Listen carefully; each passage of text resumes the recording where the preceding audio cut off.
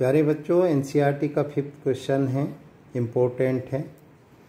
Why do we need to expand the formal sources of credit in India हमें भारत में ऋण के औपचारिक स्रोतों के बढ़ाने की क्यों ज़रूरत है? और अथवा there is an urgent need to expand formal sources of credit analysis the statement. ऋण के औपचारिक स्रोतों के विस्तार की अत्याधिक ज़रूरत है, कथन का विश्लेषण करें। फ़र्स्ट पॉइंट है इसमें, किस टाइप से करना है हमें? सुपरविजन, निरीक्षण करना चाहिए।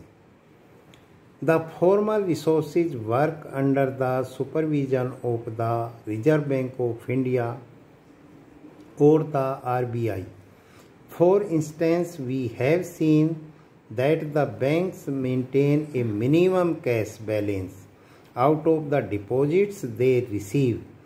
The RBI motions that the banks actually maintain the cash balance.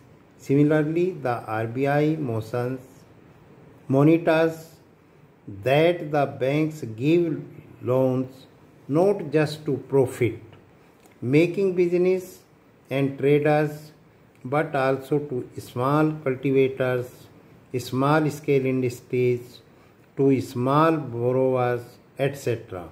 Periodically, banks have to submit information to the RBI on how much they have lending to whom at what interest rate etc.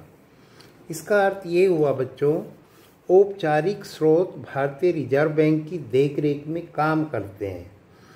हमने देखा है कि bank कुल जमा राशि का न्यूनतम नगद हिस्सा अपने पास रखते हैं। आरबीआई इस पर भी नज़र रखता है कि बैंक वास्तव में नगद राशि रखे हैं या नहीं।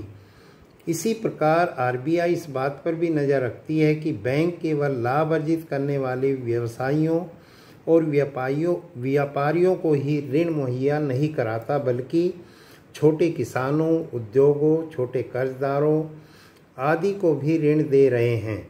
समय समय पर बैंकों द्वारा आरबीआई को यह जानकारी देनी पड़ती है कि वे कितना और किनको ऋण दे रहे हैं। उनकी ब्याज की दर क्या है? On the other hand there is no organization